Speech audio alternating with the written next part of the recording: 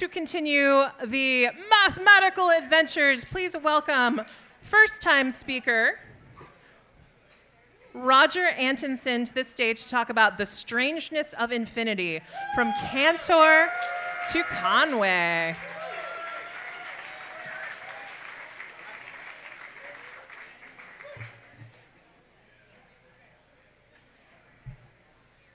Hi there.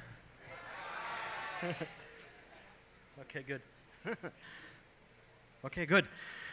Hello.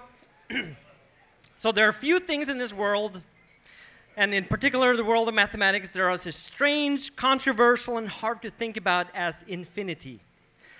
That's a, it's the most odd thing there is. So what is infinity, and what does even infinity mean? Is, well, it's the opposite of the, in, of the finite and the bounded. It's the unbounded and the never ending. So, in this talk, I hope to give you a little bit of um, insight and a taste of this wonderful and very strange world. So, there are two heroes in this story it's uh, Cantor and Conway, and we'll get to those shortly. Yes, good. Now, first of all, a lot of people are a little bit misguided and skeptical to this field of mathematics. So let, you just, let me just tell you what I think it is. First of all, it's about, it's about finding patterns, patterns everywhere. With the pattern, I mean form, structure, some regularity, something that repeats itself somewhere in time or space. It's also about representing them with a language, with symbols, with sound, with a poem, with anything you want, really. It's about making assumptions, and you can really make any assumption you want. And it's about finding the consequences of these assumptions. And this is science. Thank you.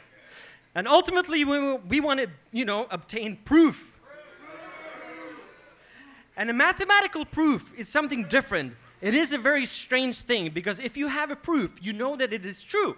And it's not just true today, here and now. It is true anytime, you know, anywhere. It is ultimately true.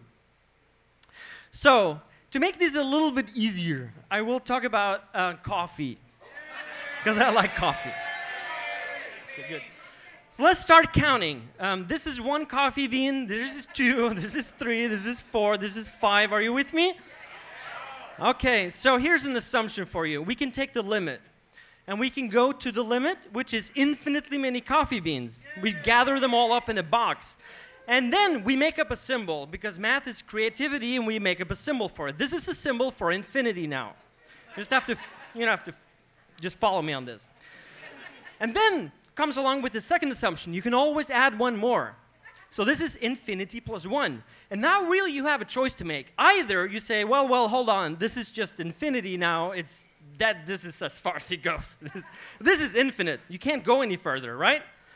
But you are free to do whatever you want in mathematics. You are. So you add one more. And you say, this is more. This is infinity plus one. But you, if you follow that assumption, you get infinity plus 2, and infinity plus 3, and 4, and 5. And if you take the limit of that, what do you get? You get another infinity. So you get two infinities, which is perfectly fine. But then you get another one.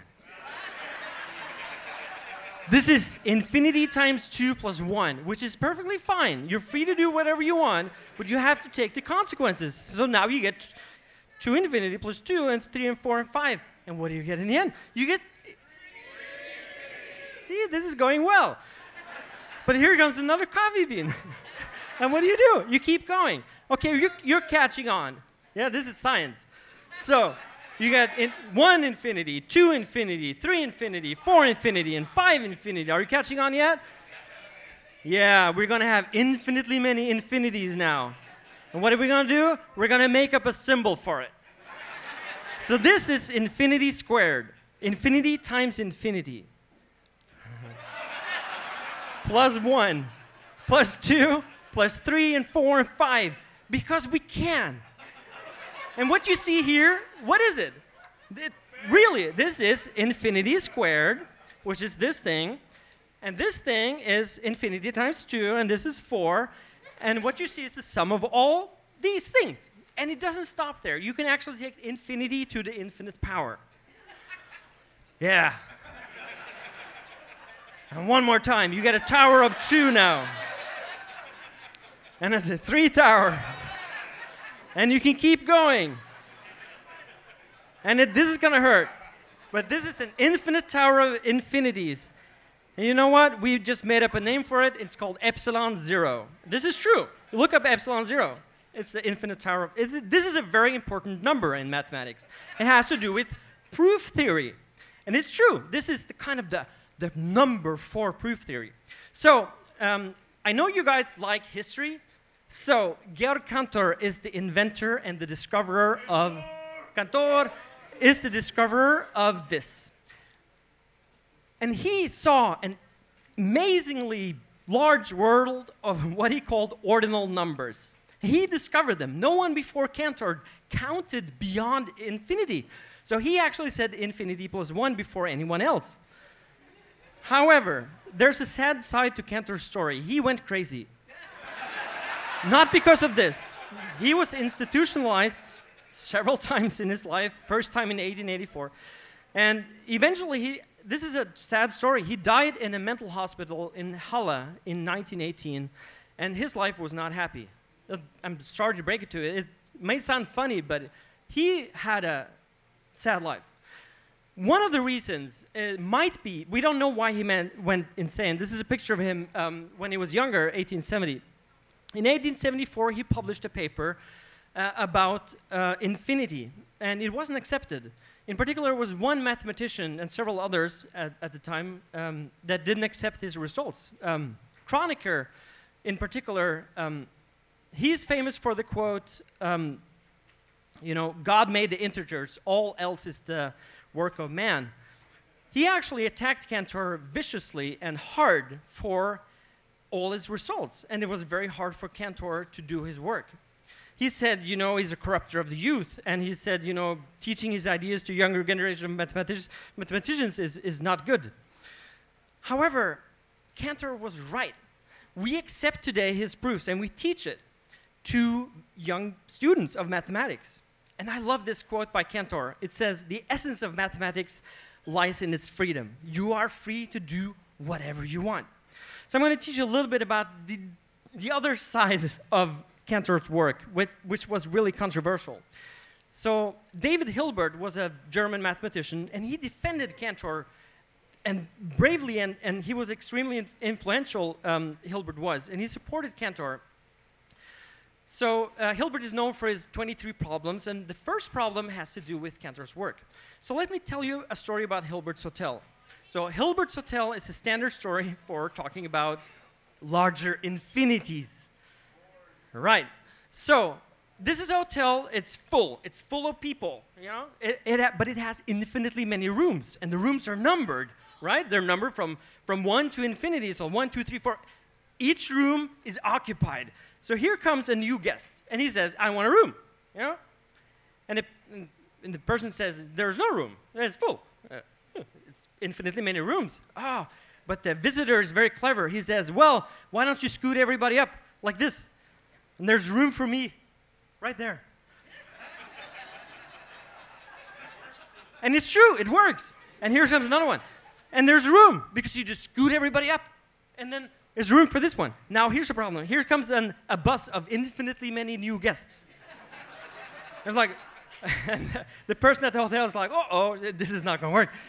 But however, it does work because you move person one to room number two, you move person two to room number four, you move person three to new room number six. So every person goes to twice the room number. It looks like this. You just scale everything up. And then what do you do? You just move everybody in. And it works. It really does. Now, here's a problem. If there comes a really big bus, this is called the real bus because it has all the real numbers in it. Yeah. There, there are no more rules. There are no more room for them. Okay, so um, very quickly, if, if you have the set of even numbers and if you have the set of natural numbers, you can make a one-to-one -one correspondence with them. This is what Cantor discovered. And he said, you know, it might sound like there are more natural numbers than even numbers, but really they're the same. Because there's a one-to-one -one correspondence, they have the same cardinality. Georg Cantor defined cardinality in this way. So he said the set of even numbers is countable. And he called this Aleph zero. And if you take the real numbers, we know them, you know, and this is where we have e, pi, square root of 2, all these things. And if you do this, there is no one-to-one -one correspondence. They do not have the same cardinality. There are strictly more real numbers than there are natural numbers. We say that the real numbers are not countable. This is the stuff that Cantor was, um, you know, the controversy was about. So now you've seen two things. You've seen ordinal numbers. They represent positions in ordering, and the math looks like that, if you want to see it. Is this where you shout science? I think it is. I would love to talk about that, but I can't. And on the other side, there was cardinal numbers. They represent sizes of sets. And that looks like that. And there's some stuff here about this fellow, Kurt Gödel. He was actually in San Francisco in 1940. Yes, I know. Unfortunately, uh, life is not long enough to tell you everything. So, that, that was actually a quote by John Horton Conway. He was born in 1937. He's still alive. I met him four years ago. He's an amazing man. And this is what he really looks like. And he's most known for his game of life. However, what he's most proud of is not that. So let's just look at Conway to get a little picture of him. Here he is. You know, people think that mathematics is complicated. Mathematics is the simple bit. It's the stuff we can understand. It's cats that are complicated. I mean, what is it in those little molecules and stuff that make up make one cat behave differently to another, or that make a cat? You know, how do you define a cat? I have no idea. Science. John Conway discovered the surreal numbers, and the surreal numbers is a set of numbers so great it's very hard to imagine. But every number, every surreal number corresponds to, a, to two sets of previously created numbers. You have a left set and a right set, and nothing on the left is greater than or equal to anything on the right. So bear with me. What is zero? Zero is the simplest thing there is. So what is one? One is the simplest thing greater than zero. What is negative zero? Negative zero is the simplest thing smaller than zero. Now, what do you think is the greater, greatest things greater, no, the simplest thing greater than one? Well, it's two. And what is the simplest number between zero and one? It's a half. What's this, the simplest number between zero and a half? It's a quarter, right? It makes sense. And in this way, he defined everything. He defined what is the simplest number greater than every number? Well, it's the infinite. It's omega. What is the simplest number greater than omega. It's omega plus 1. And now here comes the cool stuff. What is the simplest number between omega and all the natural numbers? It's omega minus 1. And Cantor started this, but Conway really continued it. And he saw what no one else has ever seen. Now we see it because of him, but nobody had seen it. And you can keep this going. If you look at this number, what it turns out to be is half of infinity. It's omega divided by 2. And you can take the square root of infinity and you can take 1 over infinity. And it makes sense. And John Conway actually discovered this. And this is kind of what it looks like. If you look it up, you'll find visualizations like this. I'm happy. It is art. It's amazing art. I mean, it, it's mathematics and science at the same time. John Conway wrote a beautiful book. In 1976, it was published, and it's called On Numbers and Games. But the word surreal didn't come from John Conway, it came from Don Knuth, who is a local. He was born in 1938, the year after Conway. I'm happy that you're applauding. This is one of my all time heroes, and I got to meet him. I'm so happy. this is two years ago um, at his annual Christmas lecture. And he wrote a book called Surreal Numbers while on sabbatical leave in Oslo, where I live, in Norway, in 1973. He had met Conway the, way, the year before and heard about surreal numbers, and he came up with the term surreal numbers. And if you're curious about all this, read this book. It's called Genius at Play. It's by Siobhan Roberts. It was published in 2015, and it's a wonderful, wonderful book about a living legend that I think we all should toast and be happy is here and alive. So thank you.